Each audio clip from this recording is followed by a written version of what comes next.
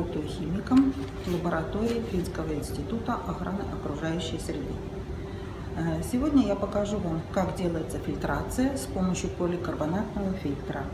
Э, для мониторинга состояния охраны окружающей среды и в многочисленных исследовательских проектах э, в качестве такого фильтра используется поликарбонатный фильтр Whatman Nuclepore или же сокращенно НПС с размером пол 0,4 микрометра.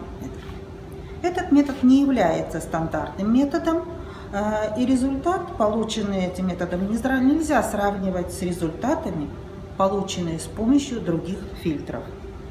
Э, аппаратура и оборудование, которые нужны для проведения этого анализа. Э, фильтрационная воронка со стаканом и зажимом, фильтры, весы, четыре знака, четыре знака после запятой. Очень точно. Сушильный шкаф. Теперь приступим к определению. Как я уже и говорила, для э, фильтрации используется поликарбонатный фильтр ватной нуклепоры, размер пор 0,4 микрометра и диаметром 47 или 50 миллиметров. А, поликарбонатные фильтры не промываются. Открытая упаковка фильтров хранится в эксикаторе для э, того, чтобы вес был постоянный, чтобы стабилизировался вес фильтра. Э, с поликарбонатным фильтром используется металлическая сетка и уплотнение. Э, перед тем, как произвести взвешивание, надо написать номер нашей пробы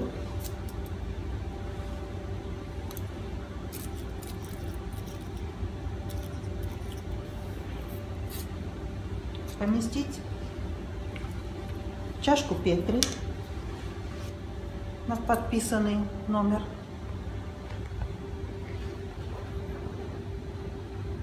Для чего это делается? Фильтры очень тоненькие и очень легко могут ветром сдуть их, может сдуть их.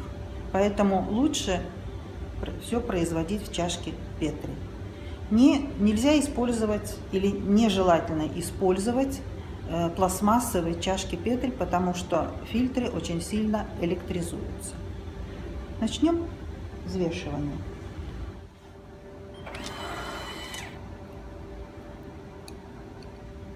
Взвешиваем отдельно фильтр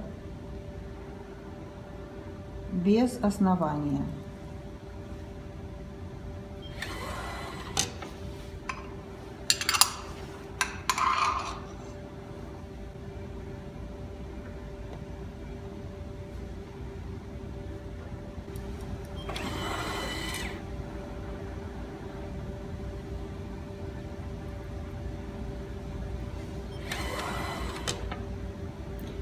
Взвешивание закончено, будем переходить к самой фильтрации. Э, так как фильтр наш очень легкий, если нам надо переместить их на более э, длительное расстояние, их можно прикрыть каким-нибудь листом бумаги или еще чем-нибудь, чтобы они не улетели. Теперь берем нашу воронку Вкладываем на него фильтр глянцевой стороной к сетке.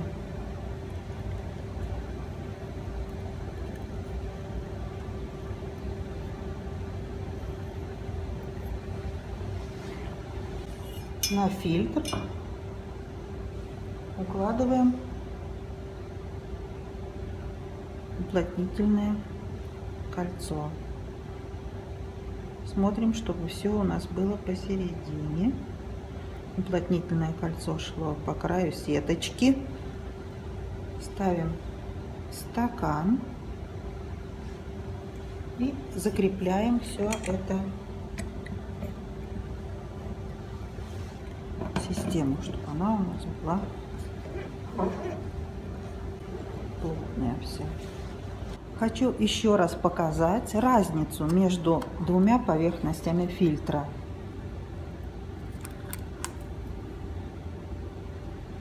Одна полоса, одна сторона блестящая, другая не блестящая.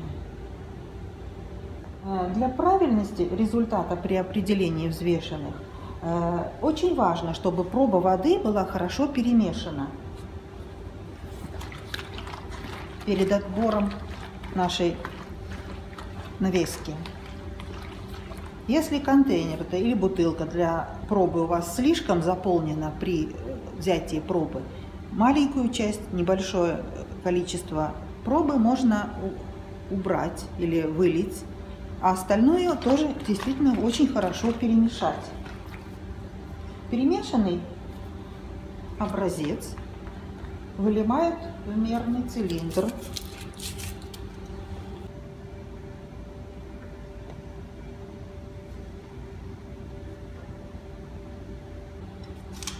И начинают фильтрацию. За раз можно вылить 20-25 миллилитров. Если хорошо проходит э, проба воды, надо добавить еще. До тех пор, пока фильтрация не замедлится.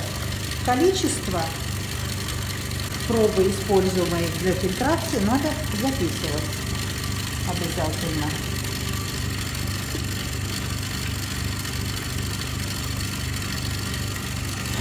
Так как наша проба прошла очень быстро через фильтр, мы добавляем еще количество миллилитров, которые мы использовали, обязательно записываем.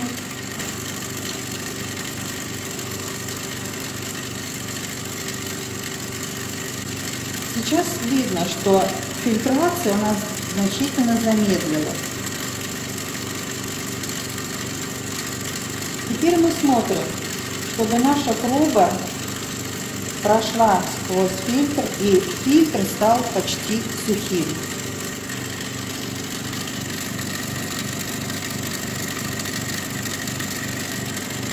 По краю смотреть, чтобы не было кольца водного. Теперь, когда вся наша проба прошла сквозь фильтр, Останавливаем насос. Аккуратно открываем всю систему.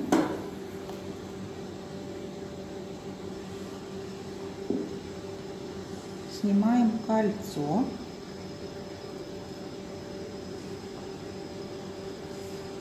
И помещаем аккуратно, аккуратно поднимаем, потому что там может быть еще вакуум, чтобы нам наш фильтр не порвался. и помещаем чашку Петри. Фольга в нашей чашке Петри используют для того, чтобы проще было взять фильтр после сушки. Когда у нас все поставлено, переносим фильтр в сушильный шкаф. Фильтр сушится в течение двух часов при температуре 105 градусов Цельсия. После того, как наш фильтр высушен, мы его помещаем для охлаждения в эксикатор и после этого взвешиваем на весах. Э, после взвешивания все результаты записываем в тетрадь и рассчитываем по формуле нашу концентрацию. Так как у нас Э, единицы измерения миллиграмм в литре. Здесь фильтр с осадком, фильтр без осадка. 100 миллилитров и объем нашей пробы, которая была взято для анализа. Получается наш результат миллиграмм в литре.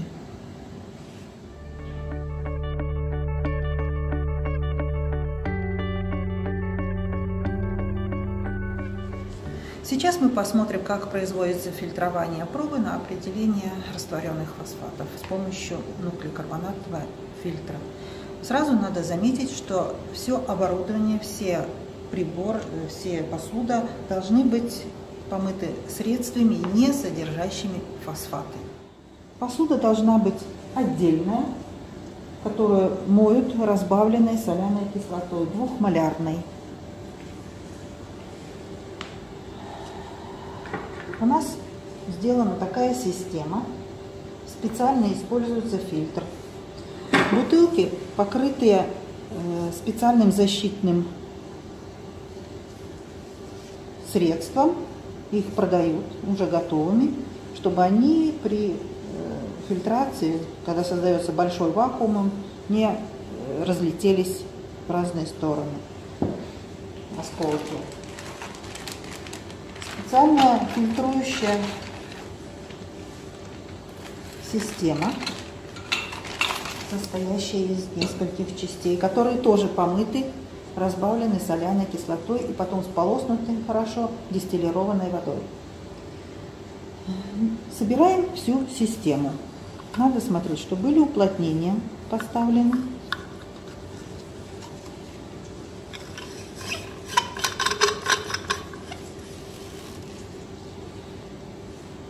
решетка. Здесь тоже должно быть уплотнение. Стакан. Стакан тоже с уплотнением.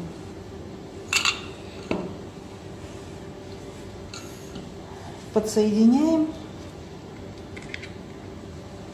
насосу, компрессору. Так как у нас бутылочка очень маленькая и очень хорошо она двигается, надо ей поставить какое-нибудь основание, чтобы она была более устойчива. Для определения растворенных фосфатов проба у нас должна быть не законсервирована. Если определение идет общего фосфора растворенного, пробу сначала фильтруют, потом консервируют. Э, для фильтрации берем фильтр и укладываем его глянцевой стороной вверх. Обратите внимание, глянцевой стороной вверх. Фильтр очень электрический и очень легко может улететь или согнуться. Теперь, когда у нас фильтр положен на сетку, надо его закрепить. Закрепляем таким образом, чтобы на фильтре не было никаких складочек.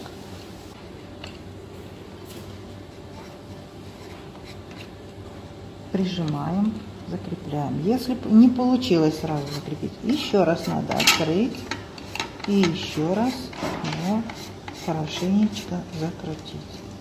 Нельзя, чтобы воронка верхняя прокручивалась. Надо добиться такого, чтобы она стояла очень хорошо. Теперь она не перекручивается. Фильтр ровненький, без морщинок.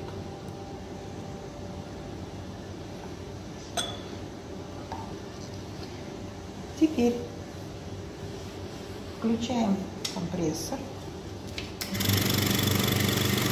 Перемешиваем пробу обязательно перемешиваем и наливаем немного прямо в воронку.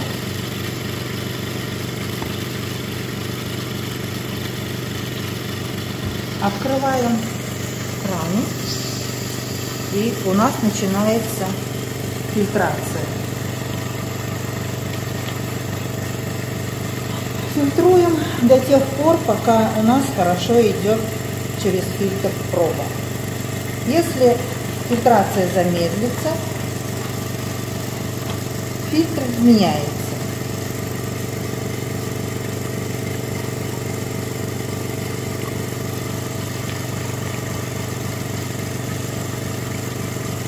И фильтруем необходимое количество, наше, необходимое для анализа. Когда у нас отфильтровалось необходимое количество пробы, смотрим, чтобы фильтр был сухим. и чтобы с фильтра никакая значит, капелька не попала внутрь нашей подготовленной профильтрованной пробы. Закрываем краник, выключаем. Теперь начинаем открывать систему. Аккуратно открываем. Снимаем. Теперь нам надо снять фильтр. Снимаем его а именно аккуратно, аккуратно в сторону.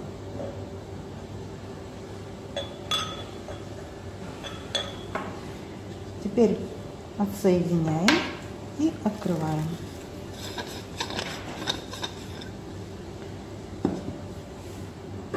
Наша проба готова. В заключение еще хочу сказать, если у вас проба очень мутная, ее сначала перемешивать перед фильтрацией, дают отстояться, чтобы осадок осел, и только после этого фильтруют. Э, есть возможность использовать разветвление такое, что можно фильтровать сразу две пробы. На каждую есть свой кран, который можно открывать независимо, и у вас убыстряется время, используемое для фильтрации, если много проб.